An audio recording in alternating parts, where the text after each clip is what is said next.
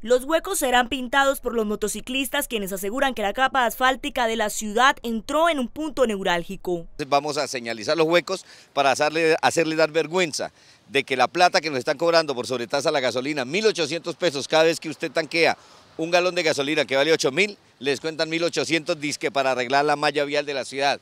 Son 350 mil millones de pesos que reciben al mes. La situación que se evidencia en sectores como el Boulevard Santander, el Boulevard Bolívar, la calle 14, la calle 16, el sector de la UIS, el Mesón de los Búcaros, entre otros, ha desencadenado el incremento de accidentes.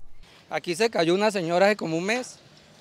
Enseguida en la tarde llegaron y taparon y se lavaron las manos. El bulevar lo arreglaron donde estaba bueno y supuestamente donde habría que tapar los rotos los dejaron así. ¿Cuántos huecos hay?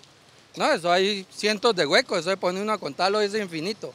Más de mil huecos, según los clubes de motos, serán señalizados durante la campaña que busca reunir la solidaridad de comerciantes y conductores de vehículos. Que los carros, las motos vean los huecos y no dañen sus vehículos o no causen accidente, porque por sacarle el quito de hueco, de eso, entonces se le tiran a uno encima y lo pueden atropellar, pueden causar accidentes como ha ocurrido diariamente. Y el que no pueda salir a pintar ese día, que lleve, nos regale una brocha o nos regale la pintura para pintar los huecos, señalizarlo y hacerlo visible y que nadie caiga en ellos. Si usted es de los conscientes que ha palpado y evidenciado esta realidad, puede unirse a la jornada programada para el próximo 2 de agosto.